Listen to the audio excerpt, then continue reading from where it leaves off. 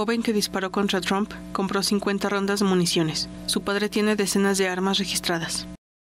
Thomas Matthew Crooks, el joven de 20 años que disparó contra Donald Trump durante un mitin el sábado en Butler, Pensilvania, habría comprado 50 rondas de municiones previo al ataque, informa hoy la cadena CNN. Un alto cargo de las fuerzas de seguridad dijo al medio estadounidense que Crooks compró los cartuchos en una armería local apenas unas horas antes de realizar su ataque, en el que Trump resultó herido en su oído derecho. Uno de los asistentes al mitin murió y Crooks fue abatido por el servicio secreto. CNN informó también que el padre de Crooks tiene registradas más de 20 armas a su nombre todas adquiridas legalmente. El arma utilizada por el tirador también pertenecía a su padre. En su cuerpo se encontró además un transmisor. Cuando se hizo una inspección, se detectó que en el auto de Crooks, estacionado cerca de Butler Farm Showgrounds, donde se realizó el mitin, había un receptor con cables que iban a una caja metálica con posibles explosivos en la cajuela. Fuentes policiales dijeron a CNN que una de las teorías que se manejan es que Crooks pensaba hacer detonar los explosivos de su coche para desviar la atención y poder disparar contra Trump tranquilamente.